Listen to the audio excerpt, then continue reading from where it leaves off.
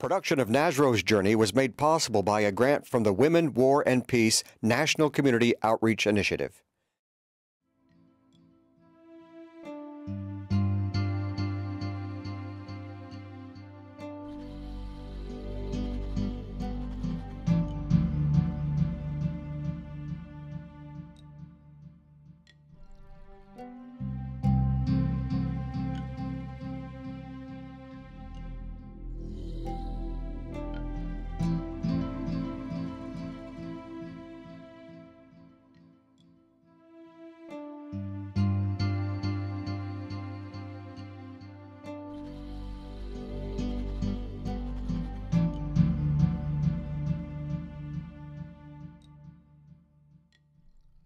Dadka ay wada yaacayaan oo ay wataan qaar dhabarka ay ku wataan maryo ay ku seexdaan wax ay cabbaan raashin qof walba wuxuu qaadi karo ilmahooda gacmaha ay haystaan.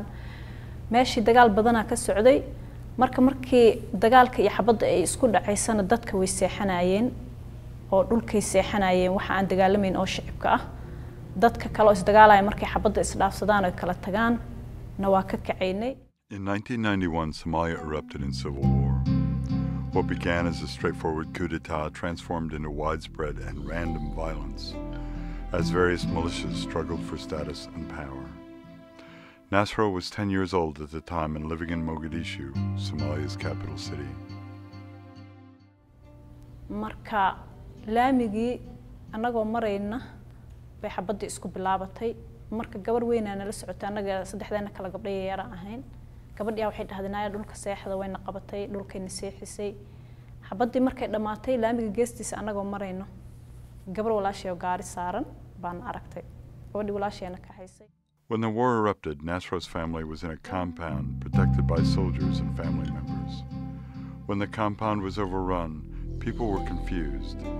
Nasro was separated from her family, but another young girl helped her survive. Intayna dumarka iyo carruurta iyo wixii raga oo gaari wadi karo gaariyaashii baa dadkii ka buuxsameen? Aniga saddex qof aan ku jirno. Waan cararnay waxaan aadnay meel duur ah. Galabtii dhan waa sii soconnay waa lugeynaynay annagoo oon iyo gaajo intaba ayna hayso waan iska soconnay habeenkii meel duur cidlaan ahaan seexanay. Once she was rescued by her sister and reunited with her family, the group joined the exodus out of Mogadishu. The family moved west to Bardera, where they hoped the fighting would not be so ferocious. subaxdii waagi markuu baryay annaga bannaanka u baxnaa meelahan soo fiifiirinaa waxaa aragnay dadkiioo wada meyd ah dadkiioo bannaanka wada yaallo Because of Somalia's strategic position in the Indian Ocean, the Siad Barre regime was supported by both the Soviet Union and the United States at various times during the Cold War. As a result, the country held large caches of weapons. Once the government was overthrown, those weapons became available to various factions throughout the country. mid baase soo kuwatay bahal yar oo bumbo camal oo naabaal la dhaho oo gaanjada intaa laga jaro markii meel lagu dhuftana wuu ololina meesha dhan uu gubaya gaarigan nalalka gaariyaasha loo damiyo meesha marka waxaa waaye waa dhagax gaarigu ma socon karo gaariyaasha tartiibaa loo waday. Adi siro meelaa lagu waday saasa loogu xabaday soo rideen dhash. Ninkii naabaalka haystay gaanjadu intuu ka goostay wuxuu ku rida beer dhinaceeda beertii waa isla oloshay kii kalena dhinaca kale ku ridi kan iyo kan markay labadoodii kala rideen oo beerihii ay ololeen beerihii ileen ku dhex jiraan dadkii nala dagaalamay amar waa la soo qaqabtay soo noqdaa la. dhahay way soo noqdeen way noo imaadeen annagiina soo raadsadeen qoryihii bay taageen qoryahay iska keena la dhahay waa laga aruuriyey waa la wareystay waxaa la dhahay haye maxaa meeshaan annaga meeshaan dadkaa ku dhici jirnay? Wixii meeshaas ka soo dhaqaaqo halkaan soo mara waxaan waa abaday jirnay ma lahan. Dad baa dhaawac naga ah waana layseen oo tuuladana waa idinka gubaynaa. Haddaa dadka muslimka oo bini-aadanka ahoo meesha maxaan ku irahda maraya ama cararaya aada saan u galaysaan tuuladana waa idinka gubaynaa idinkana waa idin leynaynaa maya dad dambana ma dilayno idinkana dowlad baa tihiin ammaana idin siinaynaa? Annaga sidaan ku soo marnay meesha. Gadaasheen dad badan ay ku laayeen. Horteenna waaba ku dhameeyeen. Alxamdulilah ilah na soo badbaadiyay. Annaga baar dheera imaanay baar dheera iska degnay. Nearly all Somali men in the diaspora say that it's the women who saved us. They mean that the women rescued the children and handed down the religion and the culture to the next generation. Ilmaha ay noqoto qaar in laga tago ama laga cararo ama waalidkiisa ay dhintaan waxa culturekeena ah ama dhaqankeena ah ama diinteena ah in qofka muslimka oo dariskiisa ah ama qof walba oo bili aadan uu korsado ilmahaas oo soo qaato. Dagaalkii sokeeye ka dhacay soomaaliya hooyooyin badan haddii ayna jiri lahayn ma badbaadi lahayn carruurta in badan. Meel oo gado ka mid ah oo hadda ka aan degnay markaa aan degnay oo aan ku soo qaxnay oo caracse la yidhaahdo dad badan aa ku dhinteen. Annaga dad aan isla soconay oo koox aan ahayn oo shan qof nooga dhimatay. Wiil walaalkayaa ku jira wuu ku dhintay meesha. Aniga dadkii jiraday ka mid ahaa. Dad badan oo dhaawaca waan arkay. Dad badan oo meesha laga keenay. Xataa waxaan arkay dad intaa laami la karkariyey. Cagaha loo soo geliyey iyo gacmaha. Dad intaas ka go-an yihiin iyo intaas oo laami intaa karkara ay gacanta loo geliyey gacantii dhan laamigii ay raacday ee go-day dad meel dhexa lagu soo kufsaday dad badan waan arkay oo dhibaato kasoo because of the nature of the war. Women were targeted. Women, mainly, were attacked in their homes, raped, gang raped, killed. Like now, they were running. Some of them were taken to the bush and are missing up to now. Rape was used as a weapon Nasso's mother had a small business in Muruk, so they decided to go there. Nasro lived with her mother in Muruk for five years.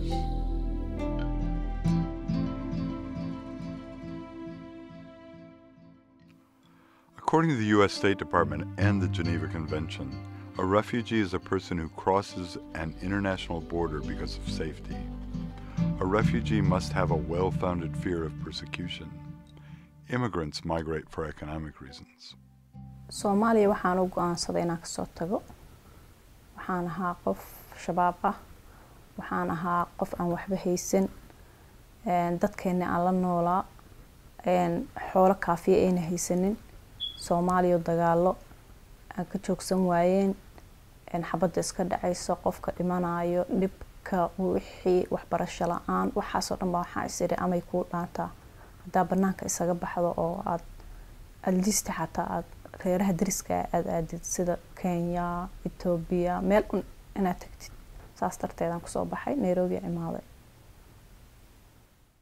baa waxaan isbaranay wiilkayga abihiis isagoo ka ganacsada shidaal balna isaga bambaasu deganaa. Bambaasaa u tegay maxaan ku idhaha booqash ahaan ugu tegay bambaasa anagoo joogno aan si fiican iskula sheekaysanay. Markood boroseysa ii soo baxay.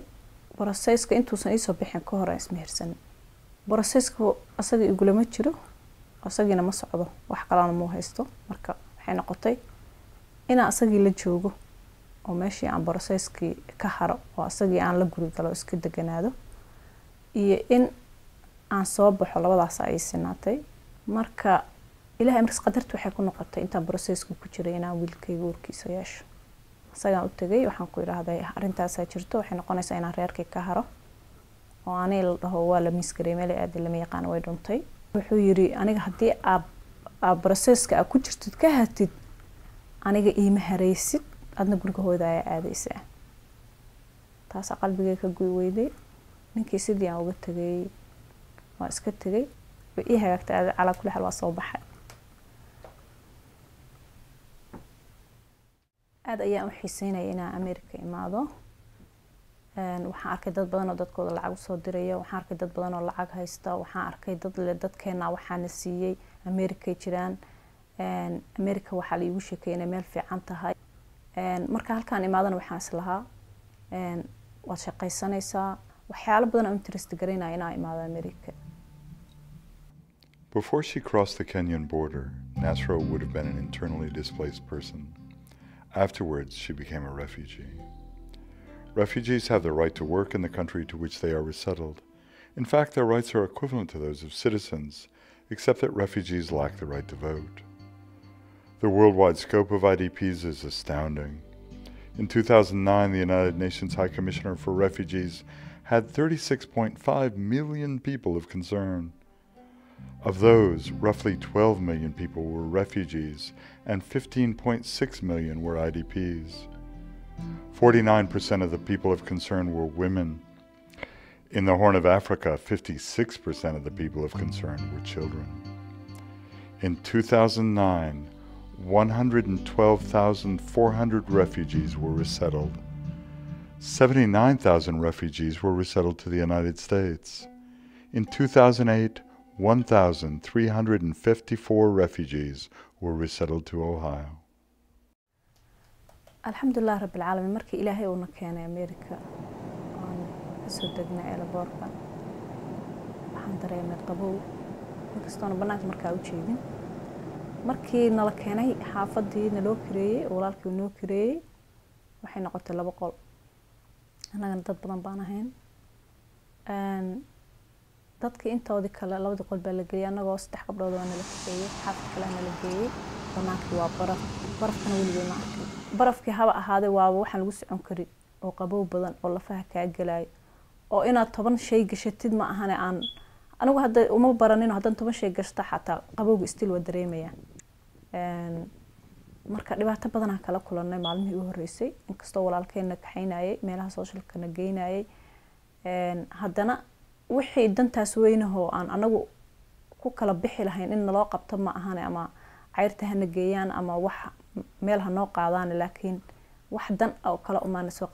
The Somali community in Columbus, Ohio is the second largest in the United States. Approximately 40,000 Somalis live here. Nevertheless, Nasro's sense of isolation is typical of new arrivals who lack transportation. Somalis are a very social people who come from large families. It is unusual to be alone at any time during the day. However, Nasro was finding herself alone much of the time in a world where she did not speak the language and did not know how to get around. Also, when Nasro first arrived, she felt cold for the first time. As a result, she didn't realize when she was thirsty, so she became quickly dehydrated. Run ahaantii aniga markaan halkaan imaanayay waxaan ahaa lix bilood uuraan ahaa. Markii aan imaaday waa xanuunsaday. Isbitaala la igeeyey habeenkii saddex faleen baa laygu duray. Oo biyo ah aa laygu shubay. So waxaan u malaynaya markii biyaha laygu shubayay inaan dhimanayo. Sababta ilkiyaa isku kay dhegay waan qarqaray. Dhowr bustoo kululaa la isaaray When they arrive in the United States, refugees receive $1,100, which helps them secure housing. In addition, they receive eight months of cash assistance, which is approximately $240 a month per person. They also get medical care and food stamps for eight months. Moreover, refugees have access to the welfare system in the same fashion as an American citizen. This includes access to low income housing. Aan bil iyo haaf joogay guryahan helay. Guryaha waxay ahaayeen meel dad aana aqoonin ay degan yihiin oo soomaalida degan wax yar ay ku tahay. Waxay ahaayeen waxaa deganaa dadkan balaag amerikaanka guryaha deganaa meesha subax walba waa la isku dili jiray waa la isku jiray. Ilaahay ani waa igu nabad yeelay run ahaantii. Bil markaa meeshii deganaa waan dhalay. When Nasra awoke after giving birth, she was taken to a room where she discovered that her son was terribly ill. cunugaaga sariirtaasuu saaran yahay tuubbaa sanka kaga jirta ilaa iyo caloosha maxaa sababay cunugaaga ma saxroonin ilaa suu u dhashay Like any mother, Nasra desperately wanted to be with her newborn son while he was in the hospital. But she didn't know how to take a bus, and everyone she knew was busy working, so they didn't have time to take her back and forth. At one point, the hospital staff even offered her a bus pass, but she didn't know how to use it. Often she could beg rides in the morning, but she couldn't get home.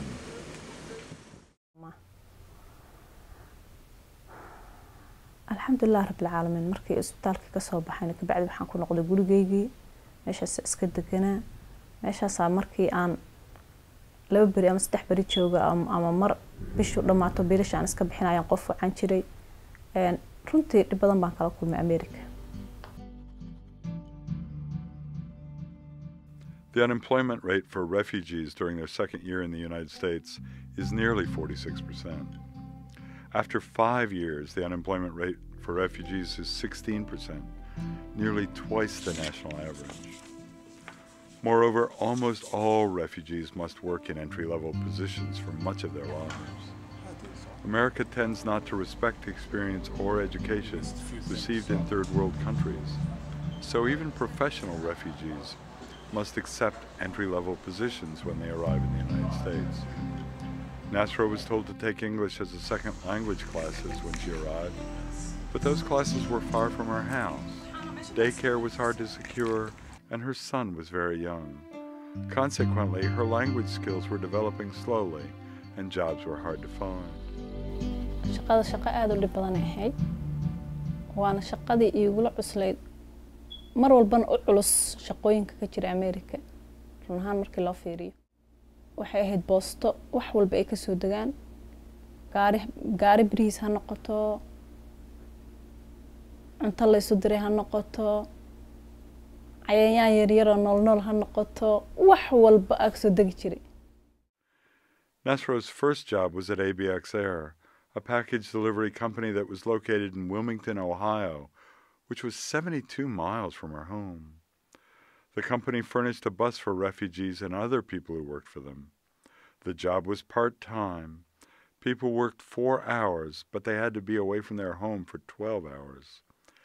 At ABX Air, Nasro earned $11 an hour.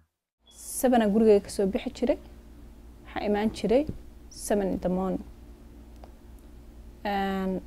habeenkii oo dhan waan soo jeedi jiray. Afar saacayna ahayd shaqada. Maalmihii dambe waxaan helay shaqo ilmo yaroo oo daykeer ahaan maalintii aan ka shaqeeyo. Marka shaqada habeenkii aan aadi jiray subaxdiina ilmaan hayn jiray. Iima suurtageli jirin inaan seexdo marka hurdada igu yarayd badanaa waxaan seexan jiray. Baska markaa sii socdo oon koro hal saaci barowna sii wadi jiray marku soo socdaan hal saaciyo bar hal saaciyo barka aan sii socdo iyo hal saaciyo barkaan soo socdo gaariga baska dhexdiisaan ku seexan jiray After her daughter was born, Nasro got a job in the warehouse of Stephen Barry, a clothing retailer. Her rate of pay was slightly less, nine seventy-five an hour, but she worked eight hours. The warehouse was actually in Columbus and therefore much closer to Nasro's home. Lacag fiicanaa ka sameeyey. Gurigeyga kiradiisa iska bixin jiray. Korontadeeda laba boqolaan bixin jiray. Gurigeyga saddex boqolaan bixin jiray. Caruurtayda waxaan ku bixin jiray laba boqol iyo konton. Gaarigayga canshuurskiisa boqol iyo konton aan bixin jiray. Taleefonkaygaan bixin jiray. Maasha allah hooyadayaan lacag uga dirsan jiray My colleague and I decided that maybe one way of expressing this is to look at, uh, is to use a, an idea called relative privilege. Sociologists have an idea that we call relative deprivation, and that is when one feels that they're, um, if one is comparing oneself to uh, a group that has more than they do, then they um, feel relatively deprived. But the so- young Somalis we interviewed really use as their reference group um, the Somali immigrants or refugees that they left behind in, in refugee camps in Kenya, and they recognize this, the um, young people here in Columbus recognize that they do have a lot of advantages um, compared with those who are left behind in Africa. And so um, they feel fortunate to be here. Um, and uh, they express that in terms of denying any impact of, of discrimination in their lives. In spite of the fact that she makes so little money, Nasro, like most refugees, still feels the need to send money home. Currently, Somalia and the whole of East Africa is suffering from drought induced famine. Approximately 3.5 million people are at risk of dying in Somalia. 12.4 million people are at risk in the whole of East Africa. In spite of the fact that Somalia still lacks a functioning government, the Hawala or Somali money wiring services will faithfully deliver money anywhere in the country or even in the refugee camps.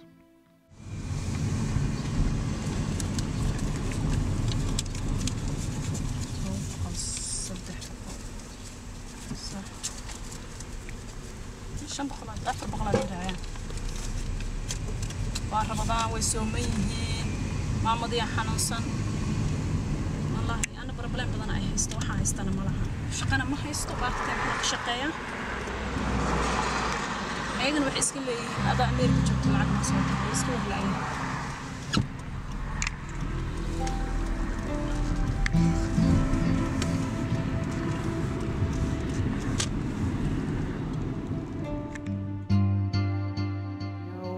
study that was reported in the New York Times um, estimated that about $1 billion per year went from Somalis in the diaspora back to Somalis either in Somalia or in uh, refugee camps in Kenya or in other, um, in other areas.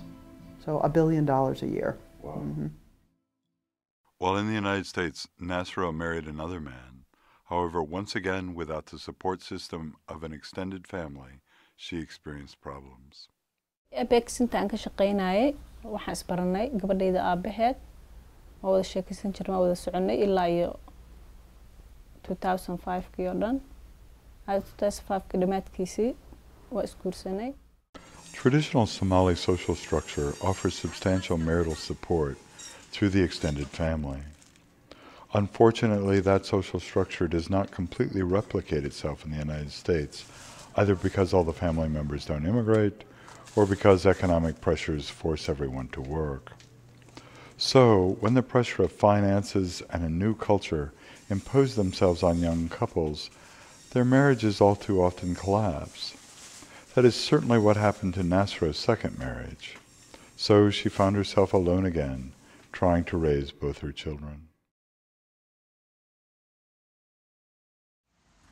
Because Nasra's current job at FedEx is only part time, she's actively seeking full time employment. Finding work is especially important to her now because the family members she left behind in Somalia are threatened by famine. family service. So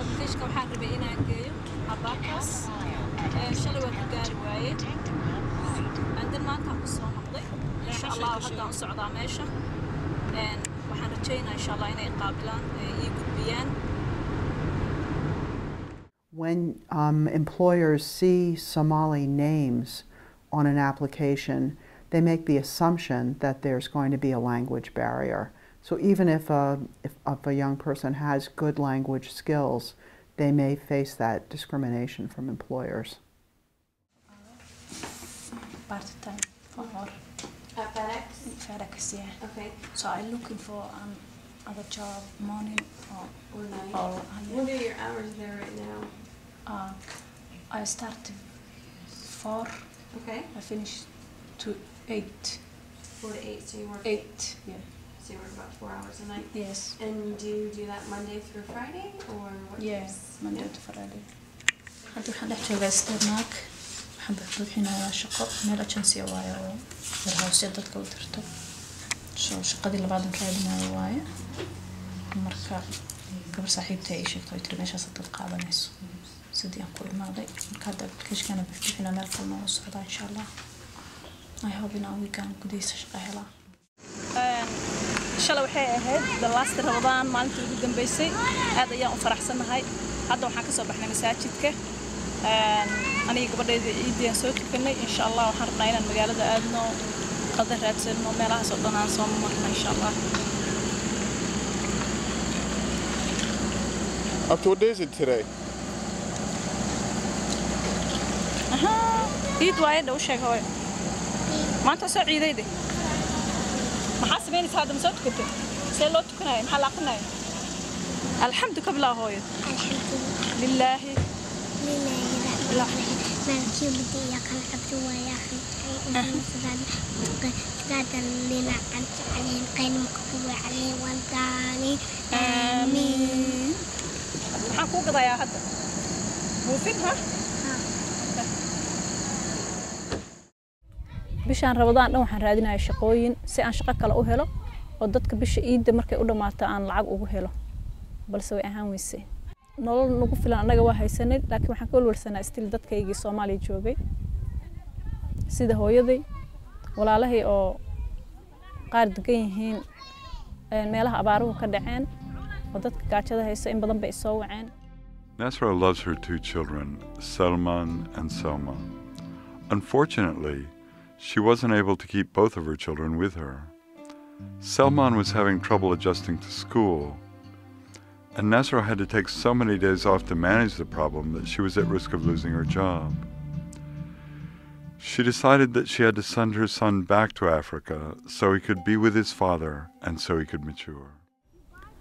runtii waxaan jeclaan lahaa wiilkayga iyo gabadhayda inay maanta isku meel joogaan aad iyo aadna waxaan u jeclaan lahaa inuu halkaan igula iido aan farxad isla qaadano faamil isla jooga ahaano laakiin dantaa ii saamixi weysa inaan labadeyda ciyaala ku wada haysto america marka aadaan u misgareeyay cunugayga i hope inaan u tago soo arko.